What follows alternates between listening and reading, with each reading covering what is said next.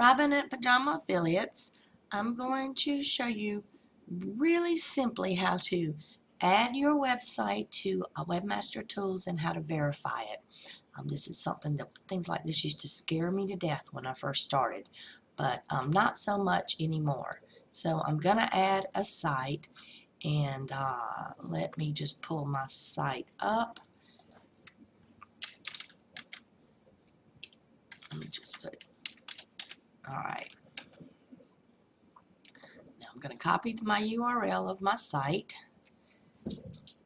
If my computer will cooperate, here it is. Copy it. And you know, all I did was click on add a site, paste, continue. Okay, now I have to verify it. And that is um, pretty easy. I am, it takes you straight there after you've added it, but if not, there there is an option that's pretty easy to find. But I'll, I'm going to go to alternate methods.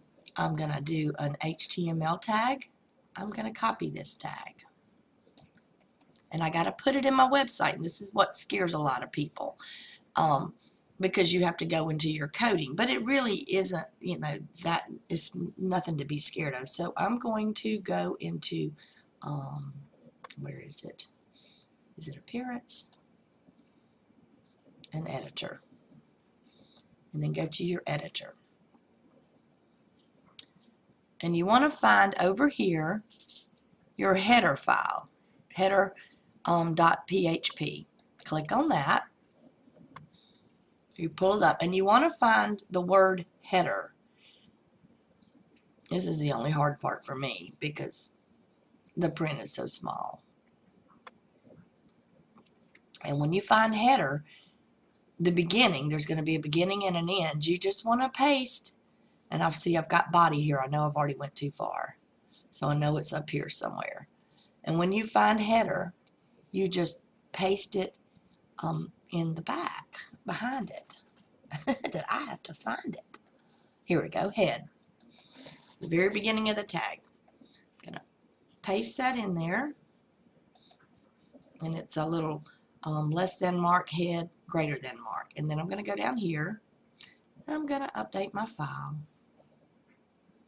I'm going to go back to um, Webmaster Tools.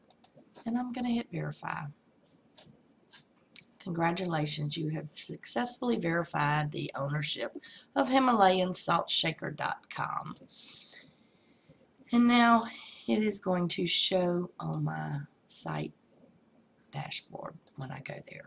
And that's all that is to it. It's really not that complicated. And let's see, there it is. I'm not sure why that's not showing, but we'll figure that out later. But um, anyway, that's the beginning of adding it and verifying it to Google Webmaster Tools.